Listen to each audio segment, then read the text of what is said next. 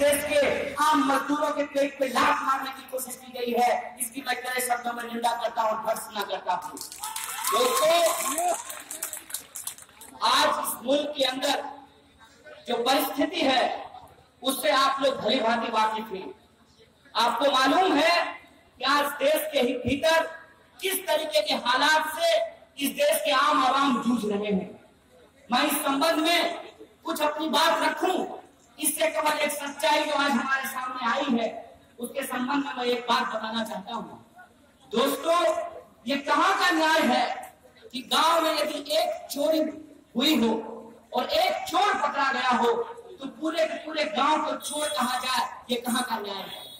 ये कहाँ का न्याय है कि पूरे के पूरे पहचान को, पूरे के पूरे पेशे को, पूरे के पूरे क्षेत्र को भाषा और बोली को बदनाम किया जाए, ये सवाल आज हम लोगों को समझना चाहिए।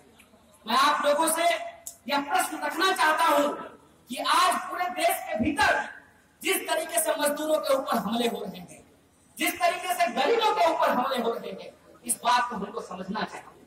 मैं ये नहीं कहता कि देश के भीतर अपराध नहीं होते हैं। मैं ये नहीं कहता कि अपराध के पीछे कुछ लोग जिम्मेवार नहीं है, लेकिन जिस तरीके से बिहार के लोगों को, उनकी मेहनत, मजदूरी के चलते, उनकी गरीबी और गुर्बत के चलते अपमानित किया जाता है। जगह जगह पर उनके साथ जिस तरीके से हिंसा की जाती है, जिस तरीके से उनके साथ मारपीट को अंजाम दिया जाता है, और बार बार यह बात फैलाने की कोशिश की जाती है कि बिहारियों की वजह से हमारा रोजी रोज़गार छिन रहा है। हमको इस साजिश को समझना पड़ेगा। यह परिस्थिति क्यों आई है? आज हमारे देश के भीतर कि आए दिन कभी महाराष्ट्र में, कभी गुजरात में, कभी राजस्थान में, कभी आसाम में अलग अलग हिस्सों में हमारे प्रदेश के लोगों के साथ मारपीट की जाती है। इसके लिए हम सबसे ज़्यादा जिम्मेवार किसको ठहराना चाहते हैं?